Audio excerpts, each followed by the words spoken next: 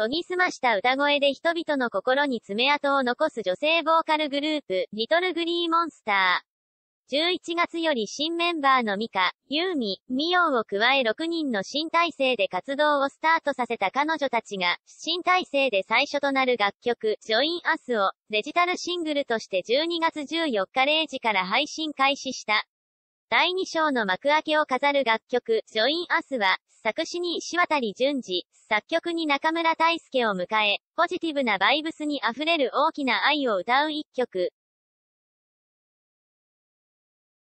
バル、デビュー以来の彼女たちの武器である研ぎ澄まされた歌声が3声から6声へとパワーアップして華やかなホーンや思わず体が動いてしまうノリのよりトラックに、迫力あるコーラスラインが映える、リトルグリーモンスターにしか出せない魅力が詰まった楽曲が完成した。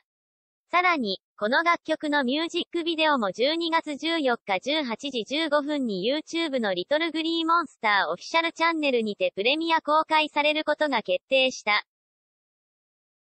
バル、7002名が応募し話題を呼んだリトルグリーモンスターの新メンバー募集、M 無限大にスターオーディションの様子や、27分の11にエビスガーデンプレイスで開催され、彼女たちが6名の新体制で初めてのステージとなったフリーライブの様子も収めたこの動画は、夢をつかむ新メンバー3人と次のステージへと進むカレン、マユ、朝日による6人の新生リトルグリーモンスターが組み上がるリアルなドキュメント映像にもなっている。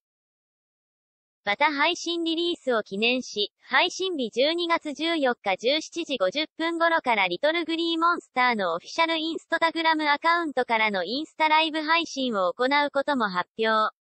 オリジナルスマホ待ち受け画像や直筆サインポスターなどがもらえる SNS シェアキャンペーンと、LINE ミュージックでの再生回数キャンペーンの実施も発表された。